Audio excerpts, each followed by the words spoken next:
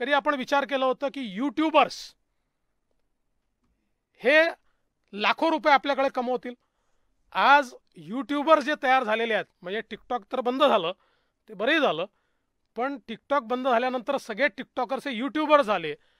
आणि यूट्यूबर्स हे आपण कधी विचारच केला नव्हता की त्यांचे क्लिक्स वाढले की एका सर्टन क्लिक्सनंतर त्यांना पैसे मिळणं सुरू होतं. आणि एक अतिशय ज्येष्ठ पत्रकार एक दिवस असं म्हणाले की माझ्या पूर्ण जीवनात मी जेवढे पैसे कमवले नाही तेवढे हे यूट्यूबवरचे चॅनल्स काढून मी कमवले. त्यामुळे आता हे एक नवीनच संधी आहे. आता ज्याच्याकडे कला आहे आणि हे होतं काय आहे तर कोणी विकत घेण्याकरता दारोदार फिरावं लागत नाही आहे लोक डेटा कन्झ्युम करतायत. तो कन्झ्युम करताना यूट्यूबवर जात आहेत लोक पाहतायत आणि लाखो लाखो रुपये.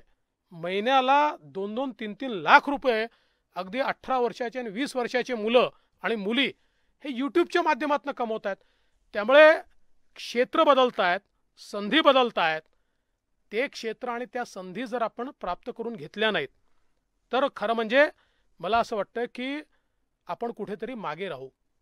आणि युअल नोआ हरारी नावाचे एक फार मोठे लेखक आहेत.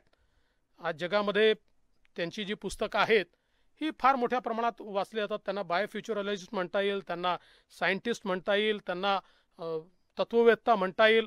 म्हणजे अगदी होमोसेपियन्स म्हणजे माणसाच्या इतिहासापासनं तर मशीन्सच्या इतिहासापर्यंत अशा सगळ्या वेगवेगळ्या गोष्टी त्यांनी लिहिल्या आहेत. आणि त्यांचं मत असं आहे की येता भविष्यकाळ हा अल्गोरिदमचा आहे.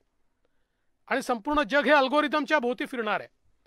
आणि या अल्गोरिदममध्ये जो मनुष्य आहे त्या मनुष्यातही उत्तम मनुष्य हा मशीनच्या माध्यमातून तयार होणार आहे. एका वेगळ्या जगाकडे आपण चाललो आहे.